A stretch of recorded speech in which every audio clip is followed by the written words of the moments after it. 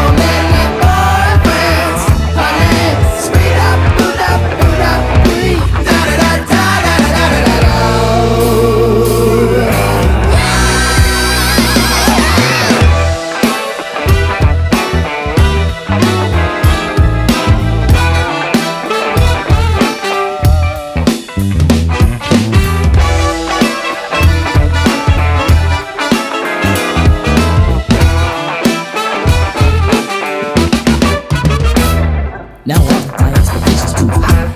Yes. I guess I'm just a sentimental guy.